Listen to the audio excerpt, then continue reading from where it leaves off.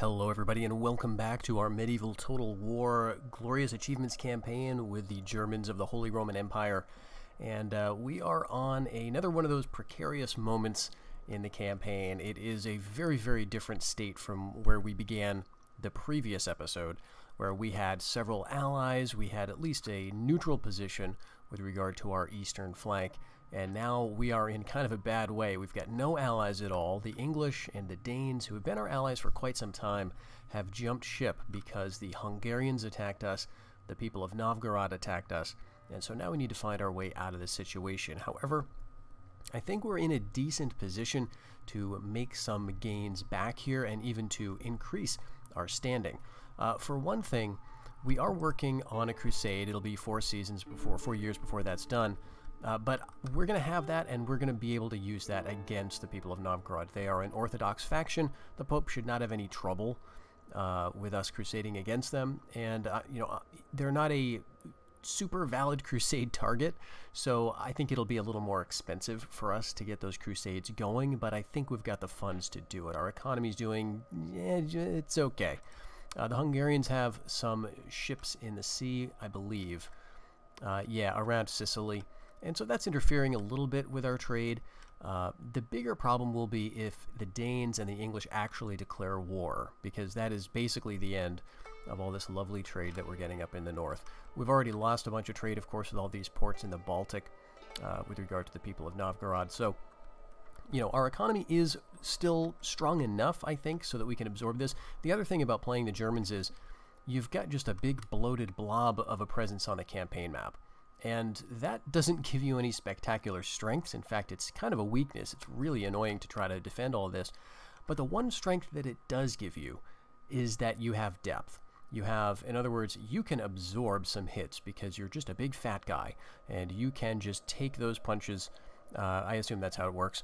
And you can just absorb that, right? You can just deal with it. Now, we're going to have to do some of that here. We've got, uh, we've got an army right outside, right at Brandenburg. And I think it would be pretty safe for us to go and hit Saxony with this and uh, probably get them out of there. Part of me wants to hit Pomerania, uh, but you know that's going to open our front with uh, with Poland. We're going to have to deal with this anyway. So I figure the other nice thing that that will uh, that will come from that is we'll have troops in Saxony again, just so the Danes don't get any funny ideas. So let's go ahead and do that right now. We've got a uh, prince here, Prince Otto, who's 39. Uh, he is not in line for the throne. That heir is in this stack, though. This is uh, Prince Conrad, who is 23. And so we do need to take care of him. Uh, but the forces here in Saxony are pretty small. We might even get them to withdraw completely. I'm wondering actually if I want to do that. Yeah, I think that'd be fine. You know, honestly, if they go back to Pomerania, that would kind of be all right with me. Let's just get these guys set up right there. And uh, I think we probably do want to take everybody here. Let's see. This guy, Prince Conrad, I got to watch out for him because he is strange, so that is hurting the morale. It is more than made up for by Natural Leader, which gives a plus two to morale. Uh, but, you know, Strange is potentially going to get worse, and Natural Leader very, very rarely gets better. So this is going to be a kind of a touchy situation. Uh, but let's go ahead. We want to leave some people in Brandenburg. You know, the question is, what are the Hungarians going to do? Because, of course, they, they started this all by attacking Brandenburg uh, first. And uh, we countered. We hit Hungary. We succeeded, but the Pope gave us the warning. And so we are withdrawing. We are being good Catholics uh, in, in the hopes that um, a, we're not going to get excommunicated because that could be a very big problem now. We've got six influence on our emperor here, and you know there could be it could be some big repercussions uh, if we get excommunicated at this point. But you know I think things are somewhat drastic enough that we may want to move our emperor into into some something of the zone, right? We want to move him someplace where he can actually have some impact. So let's bring him over to Bohemia. Let's bring these two units of chivalric men-at-arms with him and uh, they can help because I'm a little concerned we're going to get counterattacked. Possibly not here, but the, the, the difficult thing about this is when you get the excommunication warning, you cannot retaliate if you are invaded. So that's of course, a very, very big issue. Uh, if we lose any battle, we are going to basically be giving up the province. Now, we can move some stuff around. So, for example, I don't think I need all these troops in Tuscany. We're not allied with the Pope, of course. Uh, and let's take a look. The Pope is allied with uh, two of our enemies. Actually, all of our enemies. The Pope is allied with the Hungarians, the Italians, and the people of Novgorod. So maybe he would charge a lot for that crusade, but I guess we'll have to see when we when we get there. But let's take like he doesn't have that much around here. If he decides to attack us, it's not really looking that threatening. So let's leave behind like one stack. And so let's take all of these uh, units that are good but kind of expensive. And sure, 45 uh, militia sergeants. Okay, they'll come over uh, over here to Milan, and I'm just going to remember to keep moving them out and to the right. That's going to be the idea. Yeah, not a lot of cash. Okay, so that's that's coming in over here to support Venice. I think we've got enough to hold out if we're attacked here, but let's just train another thing. And let's go with some archers in Austria. You know, stuff that I just never bothered to build. We do have an organ gun crew and hobilars. I don't know. I, 10 support cost, though. That's pretty, pretty low. It might be nice to put this in like a castle someplace. Let's do it. Just as a kind of a fun thing. I'll bring it up, uh, and we'll put it in Saxony, just to give the Danes a surprise, because I want this castle to be uh, nice and protected. Uh, but in Bohemia, we do have archers. Uh, okay, yeah, I think I think we'll be just fine if we're attacked here, but we do have to keep keep training. Let's go with uh, more archers because I feel like the Hungarians are just going to have lots of ranged stuff. They usually train horse archers and these uh, these Jobagi. These are a really really interesting little unit. Javelins really good versus armor. Strong charge too, so they will get into melee. Uh, but they've got no shield. They've got what seems like no armor. Uh, but they can be pretty effective. And they can train them just about anywhere, like any fort, I think. That's all you need. So, uh, that will keep training there. And here, we've got, okay, we've got some mounted crossbowmen in Silesia. That's very nice. All right, and I think, I think this stack is going to be just fine where it is. Let's leave it there. And let's go with some more foot archers, because we don't have any of those. Okay, fortunately this can only be attacked from Poland, so we can have a pretty good sense of that. Um, what I'd like to do at some point, it's going to be four years before the crusade is ready, right? So part of me thinks, okay, I want to hit Saxony with that crusade. But obviously, we've got to defend Saxony before the crusade happens, right? So let's take everybody out of Brandenburg um, and force them out and then just fight on a sort of single front Let's leave these guys behind. Leave the 95 spearmen. And uh, let's bring along the Vikings, I suppose, and we'll go right there. Loyalty's pretty good. They should maybe retreat. If they retreat to Pomerania, we'll pursue them to Pomerania. Um, but we need to have, you know, men in the area. Archers in Friesland and Flanders, I can build absolutely nothing. Let's go with some crossbowmen at Ile-de-France. And Swabia were taking a break from uh, chivalric men-at-arms because of that crusade. Different units available uh, in terms of mercs at Burgundy, but I think we're going to stick with the basics here and just go with archers. Because again, the Danes are now a, uh, a bit of a problem. They could just hit us. And, you know, some of their units are a little intimidating. Vikings have, uh, have frightened me, given my past experience with them in Novgorod but they don't have great upgrades. I mean, they've got a really good general here, so their valor is quite good, and their armor is, you know, it's okay. They got a, what is that, a plus one armor upgrade?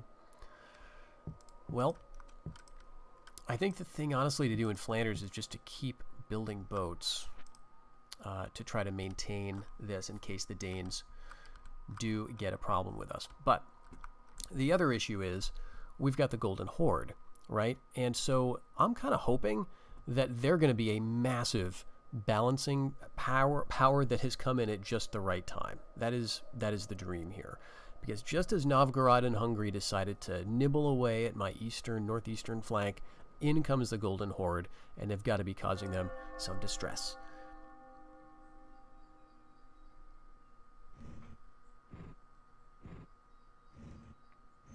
Yeah, the, Novgorod is attacking Chernigov. That is the Golden Horde. I've got to, I've, I've got to imagine, right? I mean, the Byzantines own that territory, I think, uh, but I, th I think they must have lost it. Okay, so we've lost Hungary. That's expected. Novgorod retreats. We've got Saxony back, and we won. Now, what is this? Novgorod or the Danes?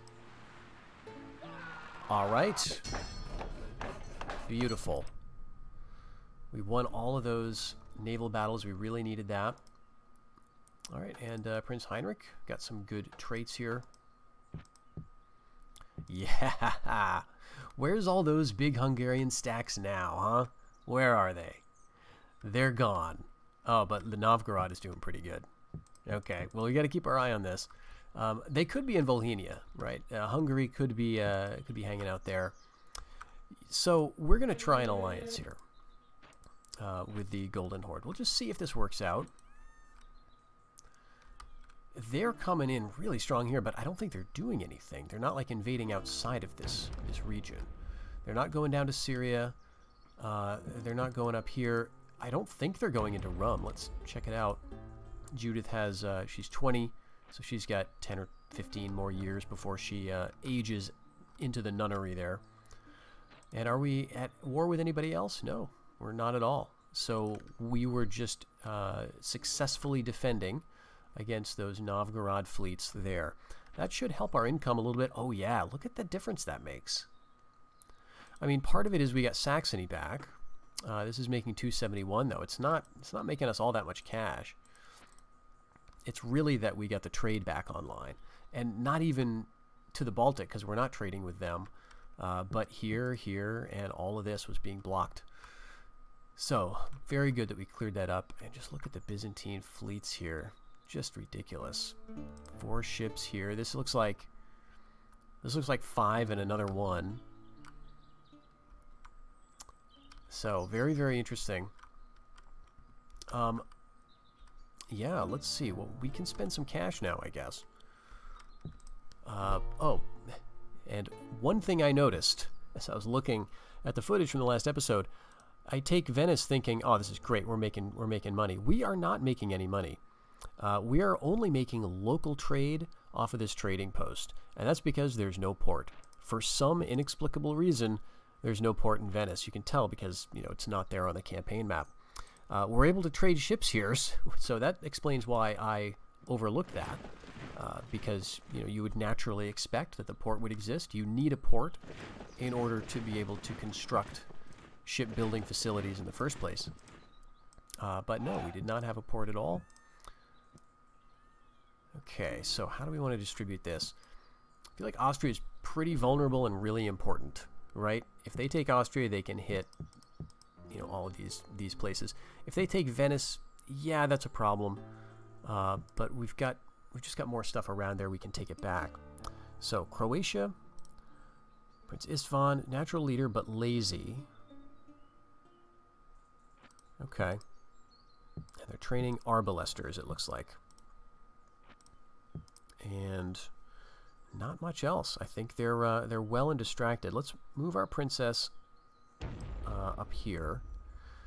So the Golden Horde, I assume, uh, was in Chernigov, right? The Byzantines are not at war with the people of Novgorod, so this is just them concentrating their forces against the Mongols and doing really well. Very, very disappointing to see that. Let's go down to Pereyaslav.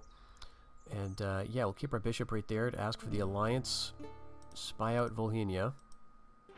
Our princesses are doing great in terms of age. Let's go to Ryazan. We've still got a Byzantine presence up there in Volga, Bulgaria, but I, you know, that's well cut off at this point.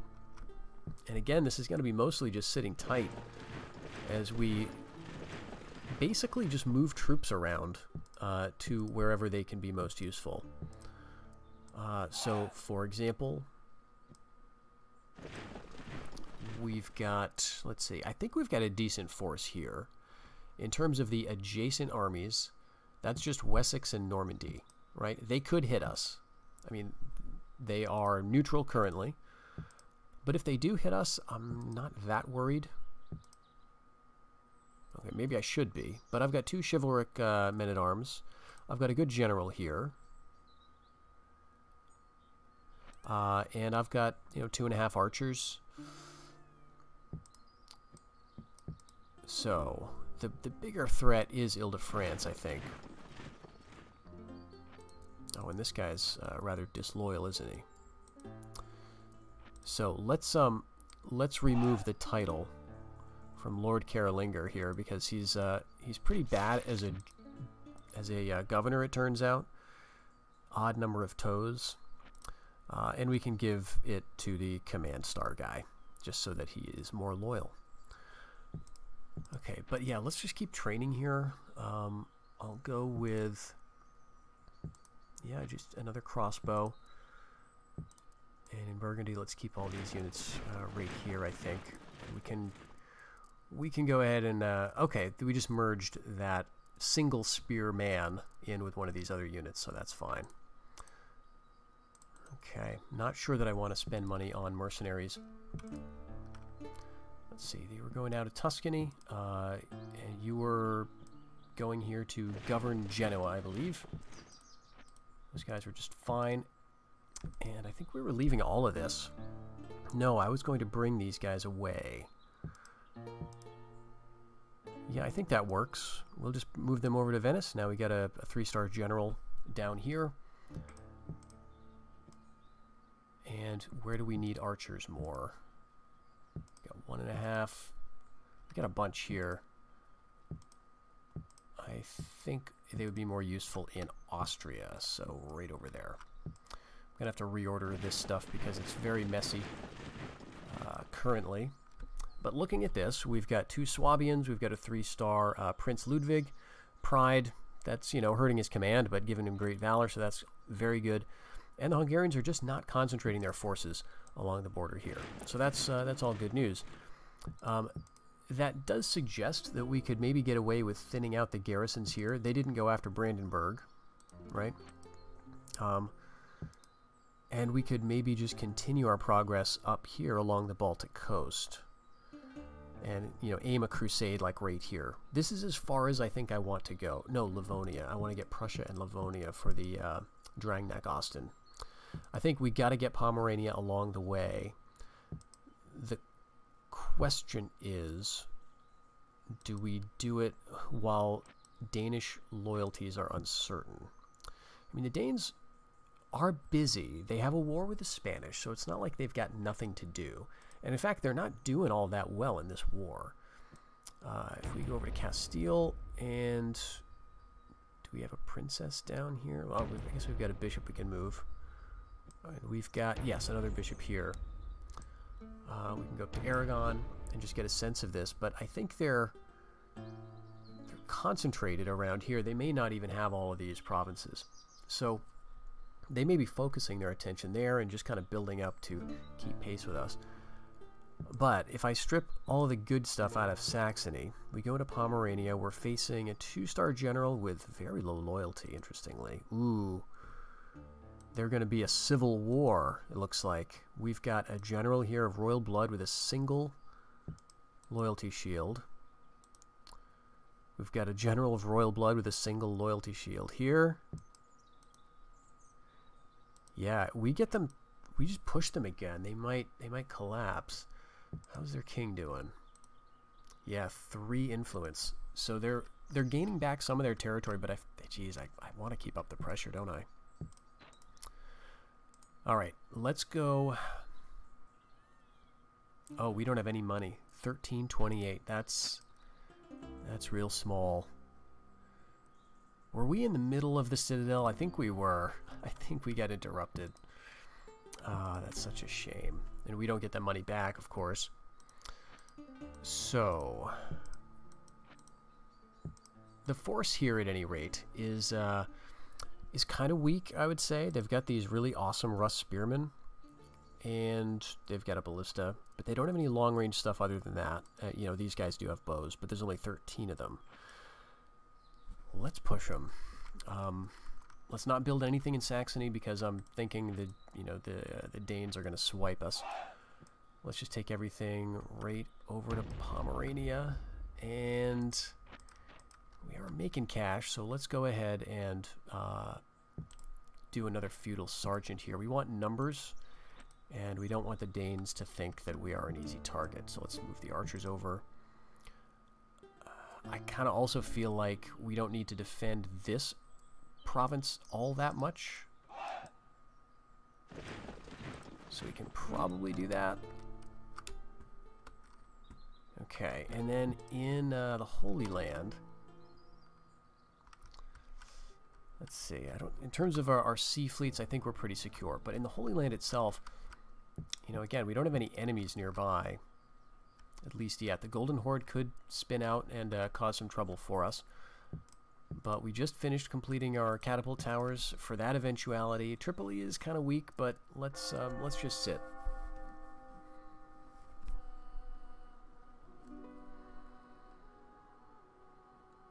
All we need to do is hold against Hungary, and we get like nine or ten more years before we can hit them safely. Okay, very interesting. Oh no. Yeah, I'm, I'm glad we're keeping up the pressure on Novgorod because they're doing too well against the Golden Horde. This is going to be a very disappointing campaign. Good.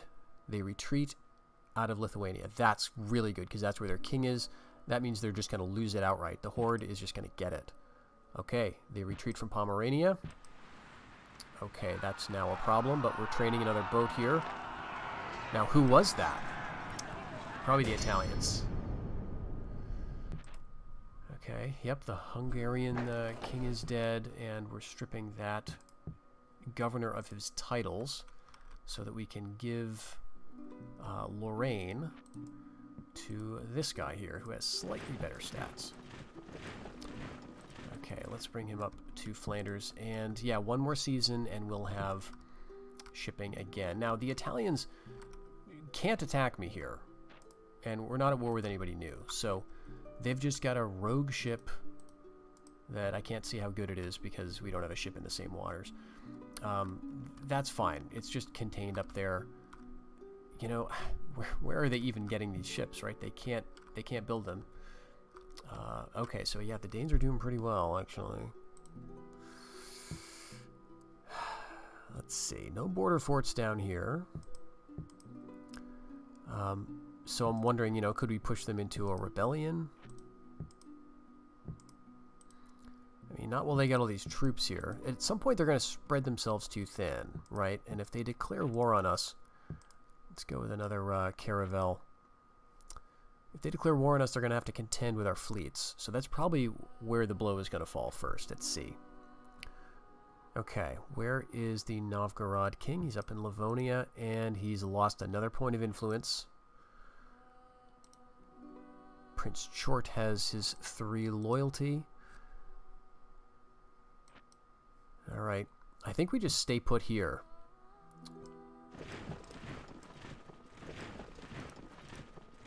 Who needs to be in charge of Saxony? Anybody? I think we got a good little stack here. I'm not too worried about that. Okay. Uh, our organ gun, though, is going with us up to Saxony. And I think we do need to shuffle some stuff over to Brandenburg. Yeah, okay. So the Hungarians are concentrated around Volhynia. You know, if it looks like the Horde is in trouble, I will help them. I am going to, I'm really strongly considering taking the ex-comm to uh, to save the Golden Horde because the last thing I want is Hungary or Novgorod to be running rampant over the steppes you kind of want the Golden Horde to win, in my experience. I mean, yes, they are a, a terrifying threat, but they will run out of steam. They can only make like three or so different unit types. You know, it's, it's very, very basic roster. Now, it's very effective, especially initially, uh, but they've got these Mongol Heavy Cav, that's their royal unit as well. Uh, they've got the, you know, the mercenaries that are local to the area. You know, you could theoretically get these two at an inn. Uh, naphtha throwers, a lot of factions can train those. Uh, but their, are their other native units are these Mongol warriors and their Mongol horse archers, which are basically mounted these guys. And again, they're, they're good units. Uh, these guys are um, uh, like a hybrid melee ranged unit. And these are too to some extent. Uh, but, you know, that's it. it. There's not a lot of depth to their roster.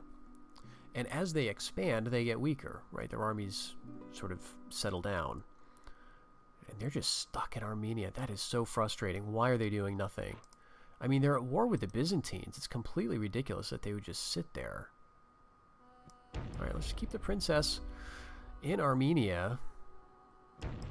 Um, and hope we get an alliance and can work together. But, like, if, if Hungary starts to push them back, then I think I may just do a...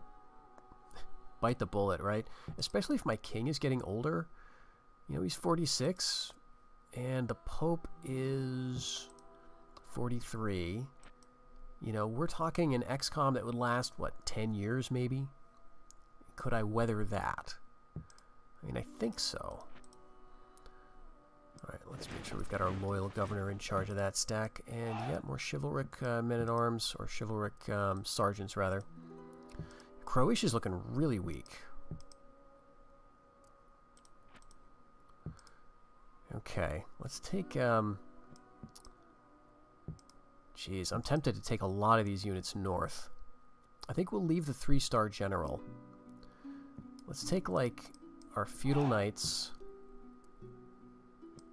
chivalric sergeants. Well, we can't take them yet. Let's take, like, a couple of Swabians. Yeah, and these guys. And I think with everything else left there, I think we're still in, in quite good shape. Right, this is almost a full stack. I mean, a lot of it's garbage, but, um... Okay see, could we re-up some archers? Yeah, let's just train a new unit, just a brand new unit, rather than retrain the 30 that are already there. And then Brandenburg, right. We can't just let that sit there. I guess we may as well go for the spear maker here. Feels like a bit of a waste. We also need to save some cash so that we can pay for the crusade, because I'm sure the Pope will want us to shell out for it. Let's just keep the siege going. Uh, we could get hit by Hungary, I guess. They're allied, I think, with the people of Novgorod. Yeah, so they could try to relieve the siege. Uh, that would uh, be unfortunate. But I think we'd be able to hold out. And in Silesia, let's see, that'll be a river battle. So that's an important consideration. If they attack us from here, can we hold out with a small force on a, on a bridge? Let's move these guys up, and what does that look like? Yeah, it's kind of weak. But we can train another unit of archers, so they'll be ready next turn. Yeah, we'll just we'll just do that. Yeah, okay. Insufficient funds.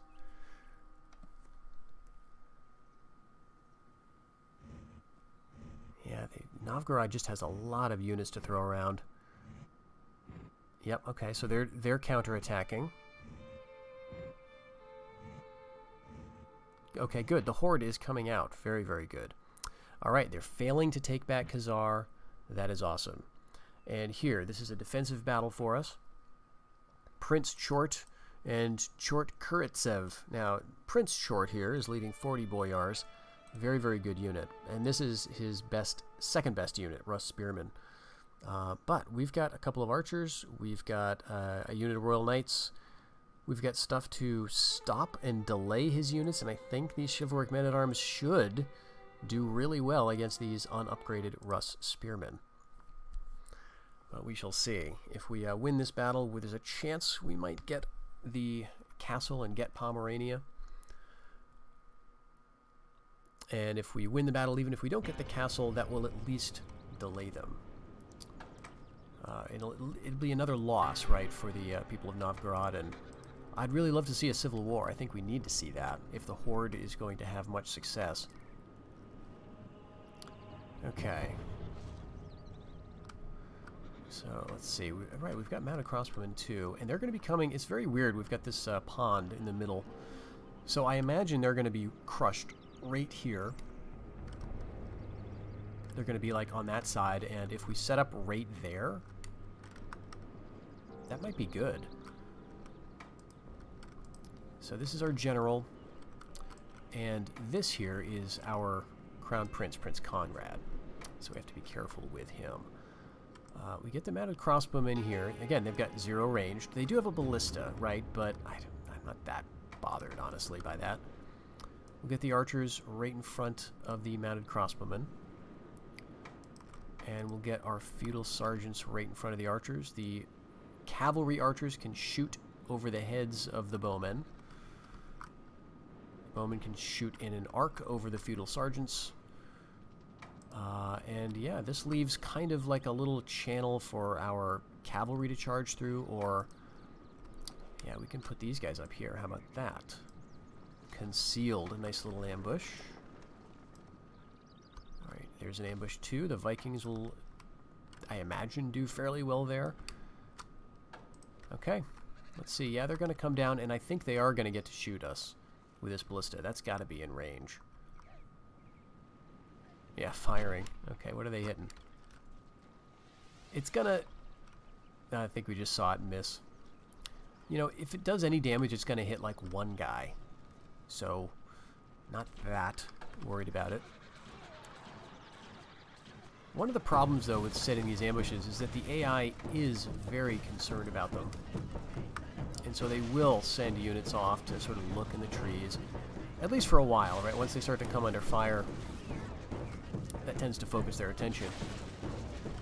But if you don't want to be hit by ballistas for too long, uh, then you shouldn't do what I've done, which is put guys in the woods, because they'll just delay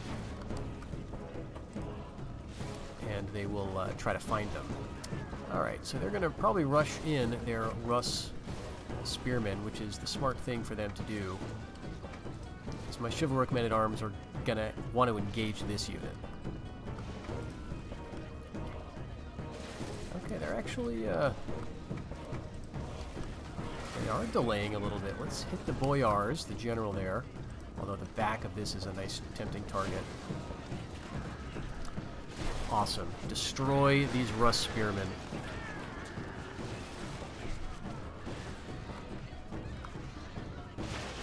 Yep, see, they're searching. They're looking for the infantry. And those ballistas, yeah, they're taking out, what, they've taken out two of my archers. Maybe they've taken out one feudal sergeant. Not a problem. Meanwhile, we've taken out 30 of their Russ spearmen. Absolutely a good trade. We've also taken out some of their boyars. Yeah, I'll just just keep with this. I'm very happy with this.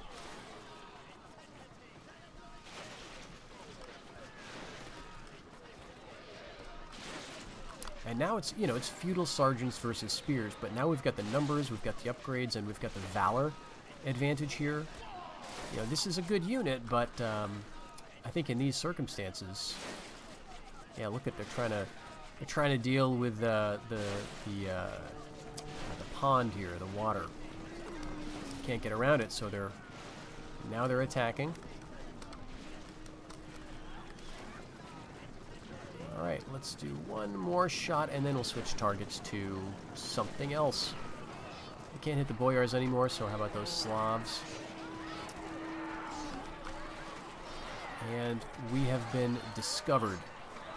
Send the Vikings and send the chivalric men-at-arms. You know what? Send the urban militia too.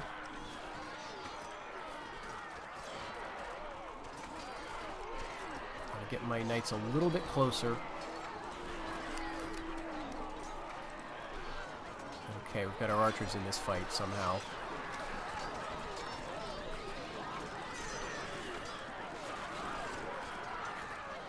We are going to catch up with some of their units, and I mean, it's Boyars, so this is not the right matchup. Get the feudal sergeants over there really quick and we're going to be, I think, okay for a little while. These are quite good units, and now that we're in the back, alright, let's just cancel the orders that we've been giving these guys. We should be seeing some routing here. Oh, we are seeing some routing, and it's uh, my Vikings. And the chivalric men-at-arms are getting, uh, kind of getting wrecked.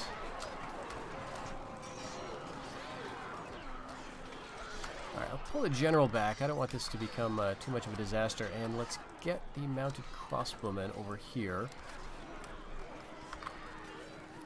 It was a very, very costly battle for us. Do have some archers left. Jeez, those chivalric men-at-arms. I mean, Boyars are a really good unit, apparently. I, you know, I knew that going in. Let's throw in the general and get this guy around. I do have to be careful now about the ballista because that is, uh, you know, a dangerous unit. Just send the feudal sergeants this way.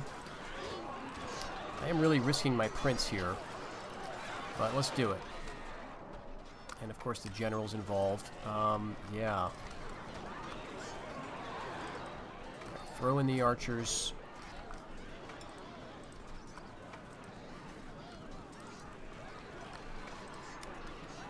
Alright, we're going to get rid of that ballista very quickly here. Royal Knights, my general, have not taken any losses yet. And there goes the ballista. Let's pull back. I don't care about it anymore. The actual uh, machine has been destroyed. Alright, let's hit the 13 boyars in the back. We've got, what is this? Two units of Slav javelin men. Well, I will worry about them a bit later. Royal Knights in the back of Boyars. Let's see how this goes.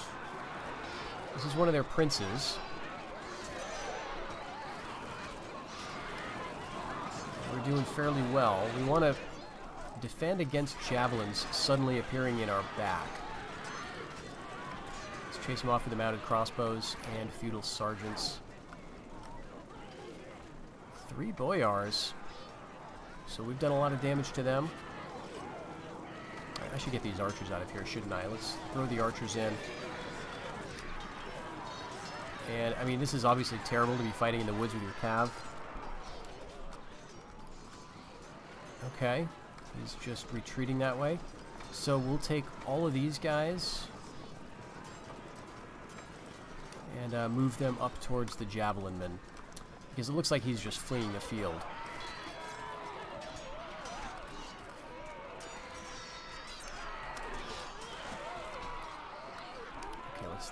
Three... Okay, they've got some routers over here, not a big deal. And we have caught up to their Boyar. Don't know if we're going to get him. And we'll see if my prince has survived. Uh, he's not the general here, so we would not be notified. Awesome. oh, that's great.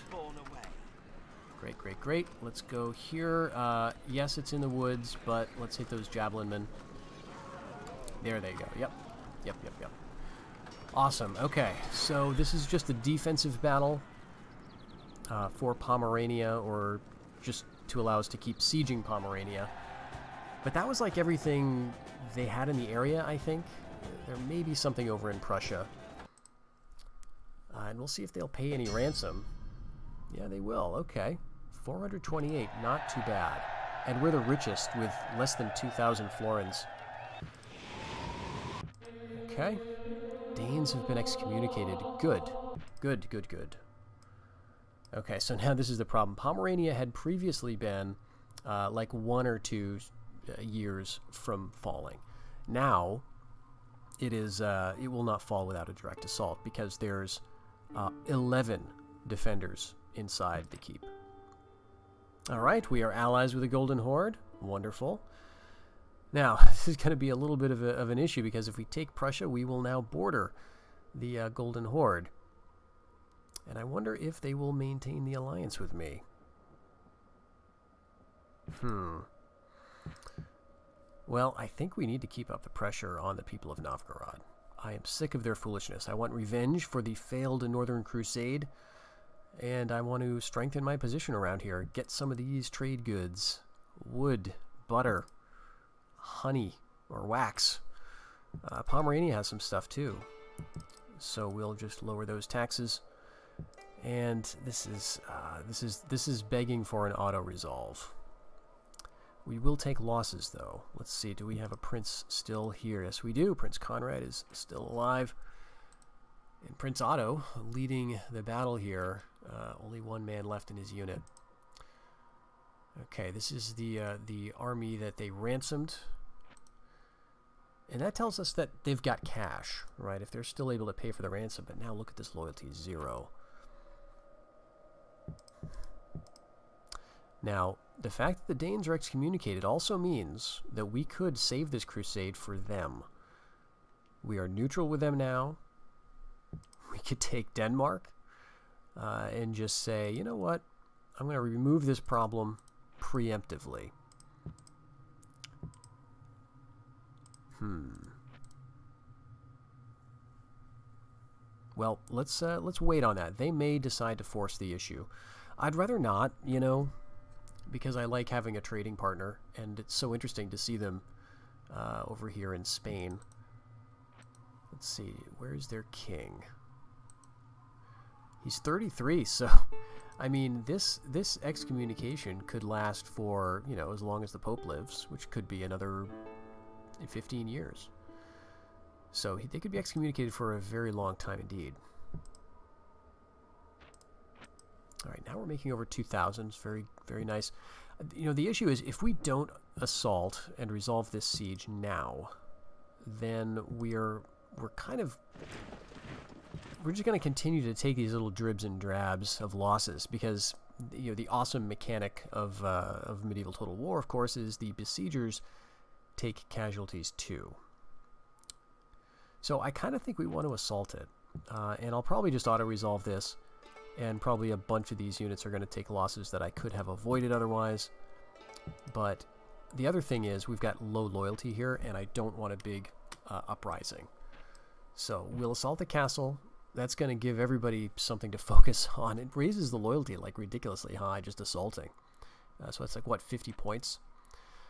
But yeah, we'll uh, we'll do that, and I really want to see them collapse into a civil war here, so that the Mongols can get big and and you know do my dirty work for me of hurting the Hungarians.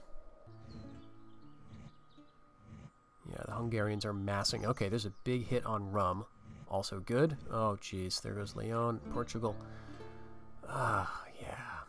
Yeah, Hungary and the people of Novgorod are teaming up. So that kicks the horde out of Lithuania. All right. Yeah, crusade over to uh, Livonia, Prussia, one of those places. Okay, so a castle assault here. This is a keep. I'm going to auto-calc it. We lost 34 men. And uh, yeah, there we go. We pillaged 1,400 florins, got a bit of ransom, got our spearmaker in Brandenburg. And let's see how the income looks. 1365. Why is that? That seems low. We were making 2,000 last season. Okay, so it's this. Flanders is screwed up by the presence of this Italian ship. Alright, so we'll move down one of our uh, caravels. We're going to get another one in the North Sea next turn when Friesland finishes. And let's go with a bark here. But we've got 5,000 florins now. That's that's quite good. That's from our pillage of Pomerania. And, you know, Poland, you know, if you check this out, I mean, they've got some formidable troops, you know, some Royal Knights, but it, they're not in a posture to invade. So this is all very, very nice. Now, do I want to use my crusade? Hmm. Because it, it looks like they're it looks like Hungary is going to attack down here. If I get a crusade up to Prussia, I think that would be good. That gives me a bunch of troops. That gives me access to all of these places to uh, attack the Hungarians or reinforce my allies, the Golden Horde, if say if they attack Volhynia, which would be great just concentrate all their forces into this little province. Um, let's see how they are in Volga, Bulgaria, because they moved up that way. I think they took out some Byzantine territory, and it looks like they've successfully moved into Rum. Uh, so that's also great. Byzantines have been moving troops away. They had two stacks over here in Syria before. So it looks like uh, it looks like the Horde is going to be doing damage in Anatolia. Oh, I forgot to set my, my crusade. Well, okay, it happens. I also need to see what Pomerania looks like in terms of uh, public order.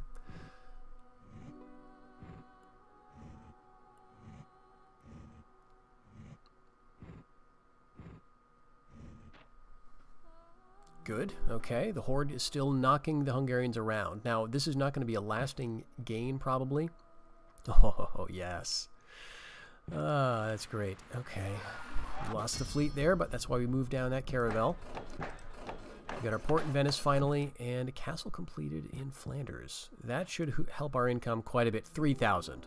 Yeah. So that's that port. I mean, Flanders is still not trading as well as it can. So that single port in uh, Venice. This is making 15, 16 now. Was it making like uh, one tenth of that before? So yeah, it really pays. Really pays to have an actual port. Uh, okay, we've got an extra ship here if I need it. For now, I'm just using it for eyes on Rhodes, but it's not doing us any good, arguably, because we're not trading with Rhodes at all. But that's just a free bark we could move somewhere if we want. Uh, I don't think we need it at the moment. But yeah, okay, Pomerania is very low and just at 100 loyalty. So let's just uh, do the old Slav cheap garrison thing. We will try not to rely on them. And um, hmm, border forts. I think honestly, probably we want to go garrison stuff instead. Let's move these guys over and train up a unit to replace them. Uh, okay, so Flanders has its castle.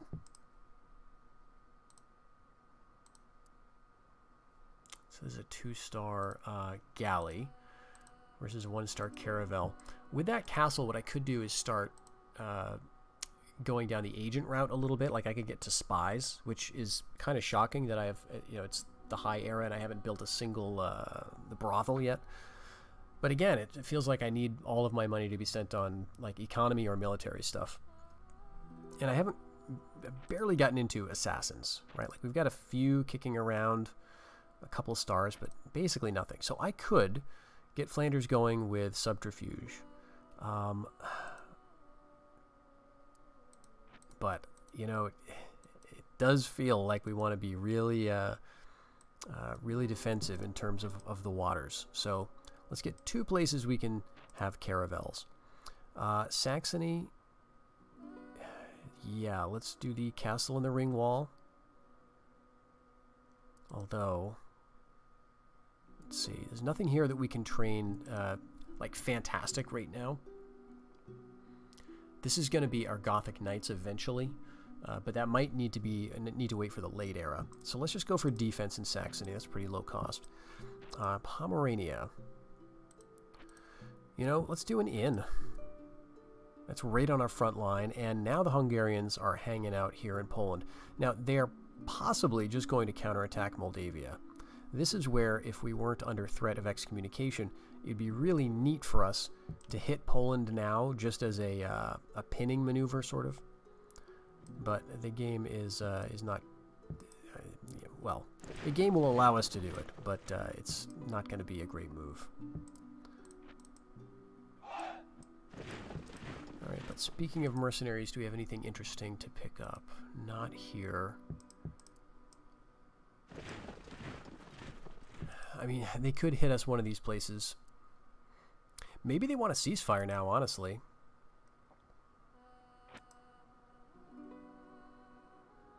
let's give it a shot. Uh, since I don't think we have any agents in the area, let's throw a princess at it. She's getting older anyway. Uh, we'll see if they'll take it. And I think they've got they've got princes who are unmarried, so they may want to take it just to get an heir. Uh, and if we cease fire, we cease fire. Fantastic. I won't worry about it. We'll just we'll just uh, keep the crusade.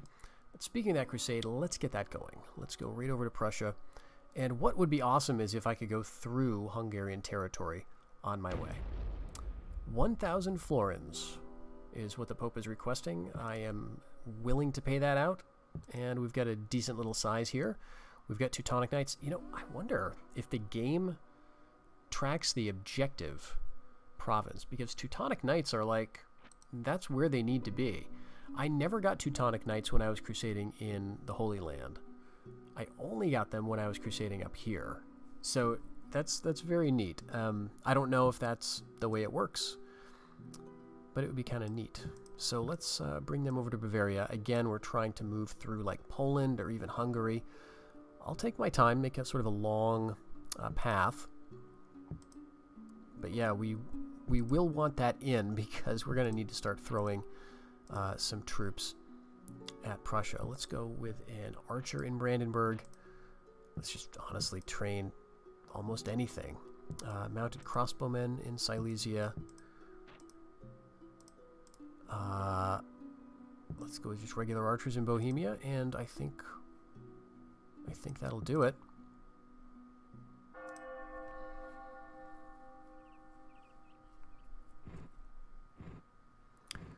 So one thing I'm noticing is that Hungary actually owns Lithuania now.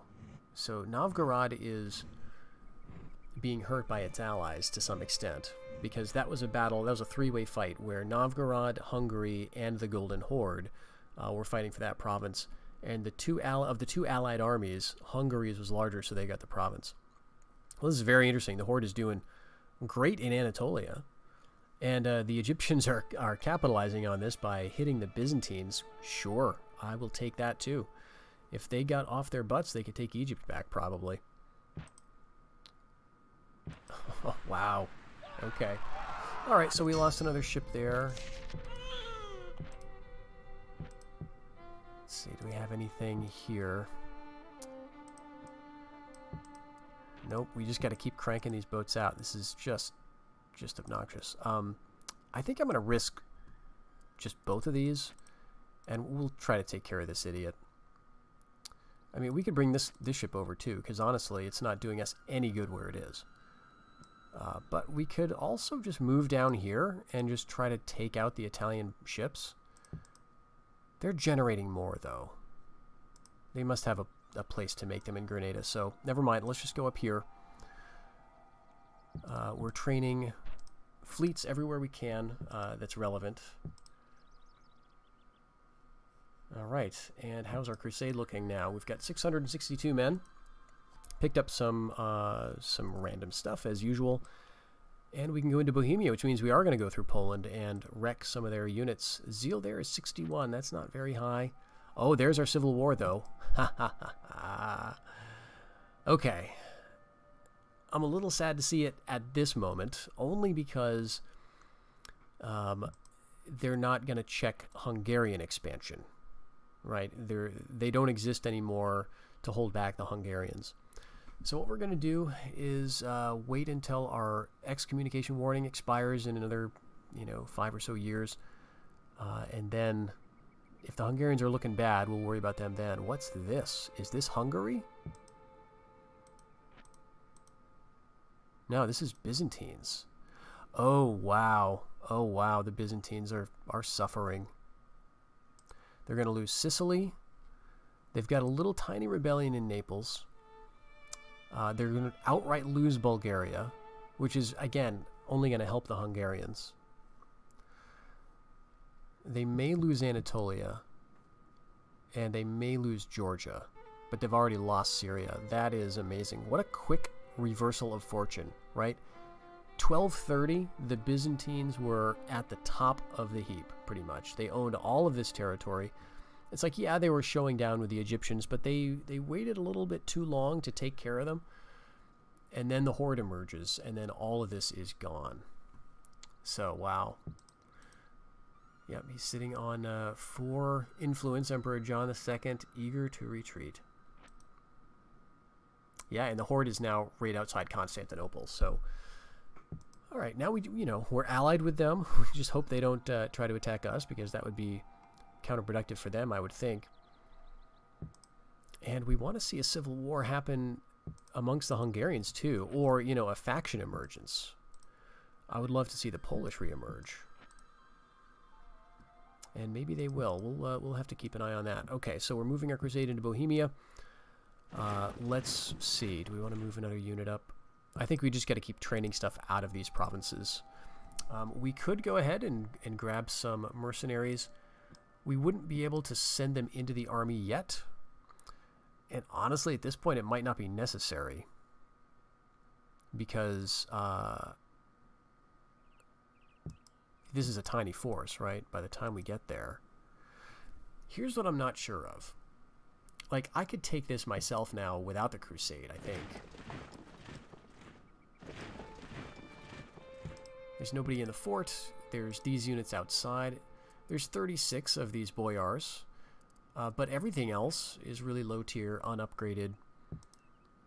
If we take this, does our crusade fail? Do we get the marker back? Do we get credit for the crusade? We've got six influence faction leader here.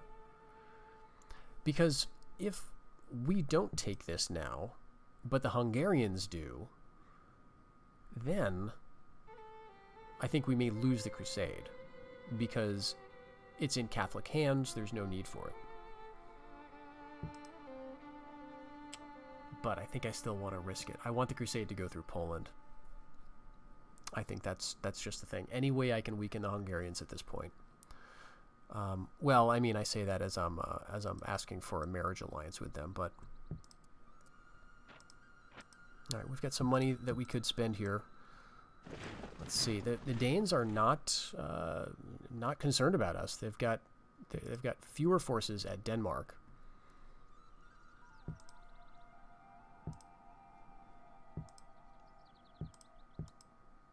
All right, let's let's hold on to the cash because uh, in two seasons we'll be able to build the citadel, and I'm feeling secure now uh, in in building that. Yep, they did not attack us. They did not attack uh, Prussia. The Hungarians didn't. They've got other fish to fry dealing with the Horde. And yeah, the Horde is having some trouble in the steppe. Okay, flood in Friesland. Prince of Novgorod has died. And the Poles reemerge. Okay, so this is going to screw stuff up. oh, I love it, though. I love it. The Poles reemerge. Now, where are they? Not in Hungary, because they never had that, but I mean, not in Poland. They might be in Volhynia, but uh, I don't know how far east they ever got. That's three stacks. All right, let's see what happens here. The French? What? oh, I'll take it. I will absolutely take it. This is a surprise. Uh, yes, indeed. The French reappear in Bulgaria, of course.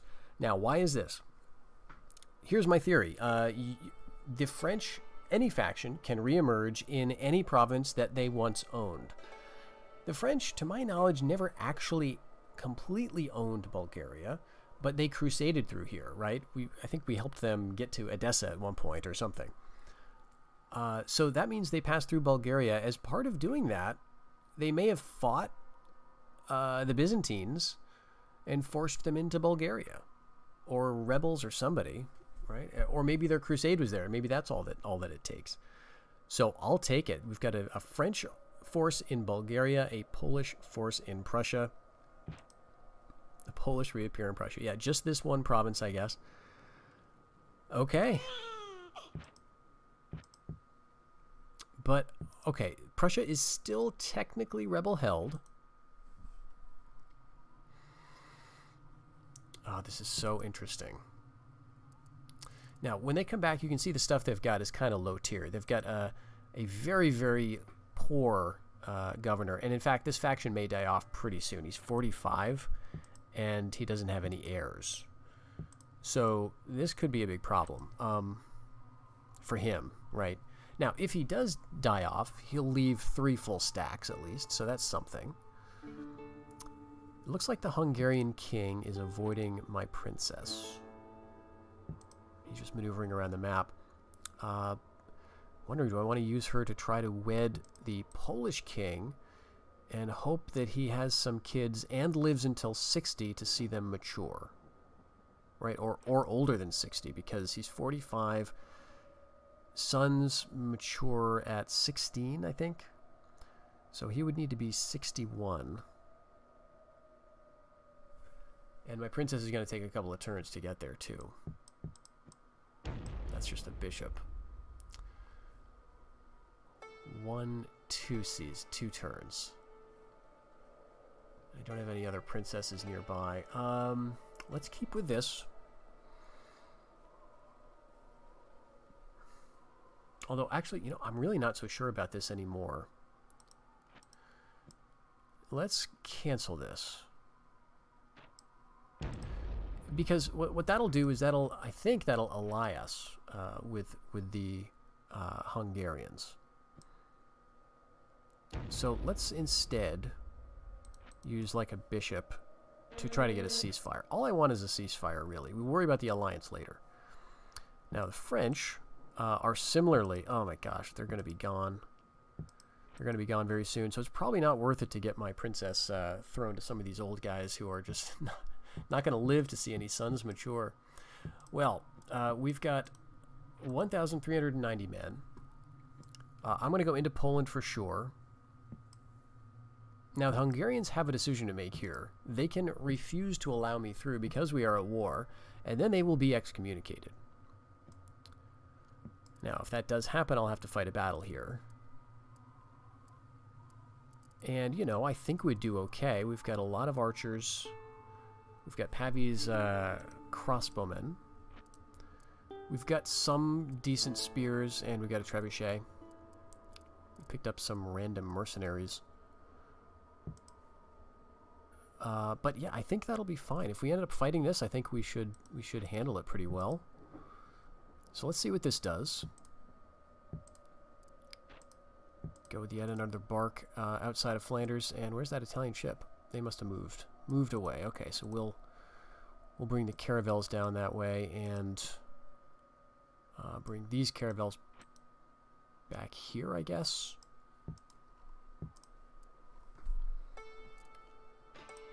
And yeah, we're making cash. We're just going to hold on to that for a while. Uh, the Egyptians would be an interesting ally as well. Because again, the, Byzant the Byzantines at this point are a non-factor for me. Um, if I ally with the Egyptians... Well, I'm not sure if I can. I guess we could give it a shot. Got a bishop right here uh, sorry, if I ally with the Egyptians, they are allied with, uh, you know, several, all these factions I'm at war with. I guess you never know, right? They could decide to cancel their other alliances. Right, at least the Horde is still moving around. So they're not totally out of steam yet, but it might be soon. Alright, we are welcome to march through the Hungarians' land. Great. Alright, the Byzantines attacked Bulgaria but retreated, and the crusade is now disbanded. okay. All right. Do we get the marker back, I wonder? All right, no alliance with the Egyptians. That's fine. We've got a magnificent builder for our emperor. And uh, we do not get the marker, so we just spent spent a thousand uh, for the crusade and gave the Pope another thousand uh, for really no reason. Oh, that's unfortunate. Okay, he's married though, so there's a chance that that the Polish could continue as a faction. Uh, I don't think they have any allies, but I would love to ally with them at this point. Let's do it. Let's see if we can get an ally. Uh, I don't know if they will because, um, well, we're so big, right? We're a big, scary faction that nobody likes. And you are going to get a ceasefire with the Hungarian king in Volhynia. Uh, you know, I'm not bordered with the French, but I'm tempted to ally with them just because it seems like it would be cool. Let's send a princess um, to scout out, oh, I don't know, Smolensk, I guess. And we'll see what the French do if they stick around, if it looks like, are they going to get married? Yep, he's married now, but, I mean, he's going to have to be very long-lived in order to have any chance of seeing outcome from that marriage. Okay, we've got 9,000 in the bank now. This would be a good time to get going on the Citadel. That's 4,000. We need to start spending that. And do I want to spend another crusade? I kind of do. I kind of just for spite, I want Livonia. Um, I can end our war with the people of Novgorod by moving a boat. So there, we're not at war anymore. Let's go ahead and, and build up another crusade.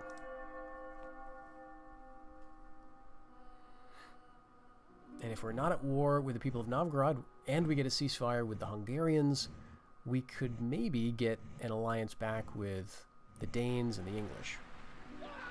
Good. That's that Italian ship. And the Poles do not want an alliance with us. That's upsetting. Oh, did the did the Crusade just dump all of our troops here? Wow. That is really neat. I I was wondering. I uh, just saw all these stacks sitting here. Fantastic. Well, okay. Uh, you know what? You can be the, uh, what is this? The Duke of Pomerania. Make him a uh, five-star general.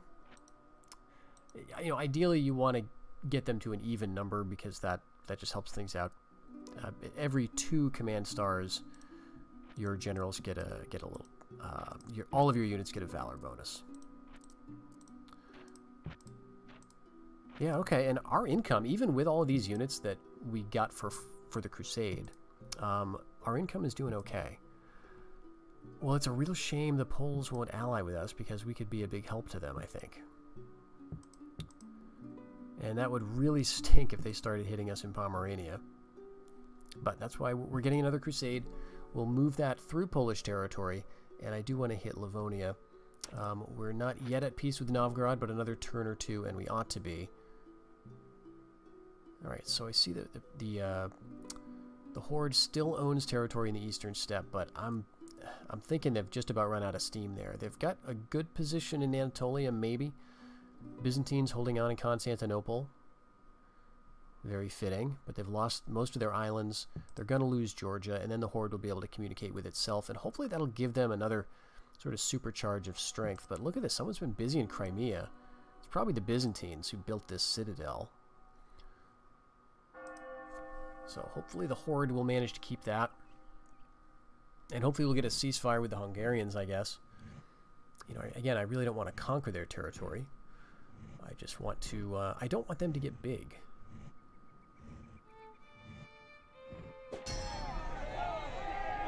Uh, okay, so we get a loyalist revolt in Anatolia. That's going to be good for the Byzantines. And I'm really surprised they've managed to hold on in the in the sort of the central Mediterranean. But that said, there's a little uh, revolt here, or a civil war, maybe round two. Yeah, this is this is a civil war. Yep. Wow.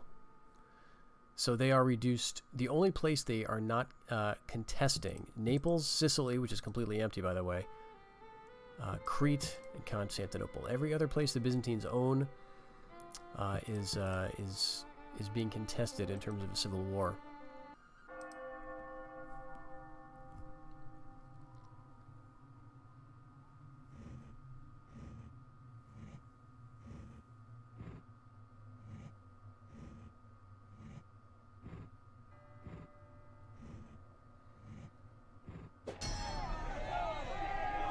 another And we're the richest. that's one of my caravels I will just about guarantee. Alright, no reject no uh, no ceasefire with the Hungarians. Okay, no peace. We've I think we've just gotten to that point where we're so big. Um, you know, what do we have for provinces? 2, 3, 4, 5, 6, 7, 8, 9, 10, 11, 12, 13. 14, 15, 16, 17, 18, 19, 20, 21, 22, 23, 24, 25, no, 24. Because uh, these are all sea regions. So 24 provinces. I don't know what the number is, but um, you know there is a point at which the other factions don't like you because you're too big. Okay. I mean, they're training stuff I don't know if they're building anything. They may be. I think they built this church because this was held by the people of Novgorod. They would have uh, destroyed that. So they've got enough money to do some stuff, and they've got an heir. Okay, he's 44. I don't know how, how he spawned out of thin air, but uh, that's that's fine. Um, you know what? Let's throw our princess at him. She's 32. And see if he'll take it, because this guy is also uh, dangerously old for being unmarried and their only faction heir so far. Man, this is so interesting. I've never seen the French emerge in Bulgaria, but very happy to see it. Do they have any allies? They do. They're allied with the Pope. Very good. Well, I think this makes a good point for us to stop. I mean, we're going to have our crusade in another turn. And then, you know, then I need to give some thought as to what we're going to do with it. Uh, because I could send it against Livonia, right? We have, uh, uh, we are at peace with the people of Novgorod, but I think that's still held by rebels at this point. We could get up there and, you know, start to at least not make it so easy for Hungary to, to roll over everything. And that might be what I do, because I think they're also doing pretty well in terms of glorious achievement points. Yeah, they're at 85. I mean, that's quite good. The Byzantines are going to lose a lot of their points. They're just going to keep falling farther and farther behind. So while they are beating me now, next time we check, you know, I'm going to come out ahead. But Hungary, you know, they've got one province conquered, they get one extra point. And they can still do a lot of conquering over here, especially if the horde collapses. So we need to keep on top of them uh, and just try to secure our, our east. So that'll, I think, be our, our long-term project. And so uh, I'm looking forward to that. I hope you stick around for the next episode. Until then, everybody, take care.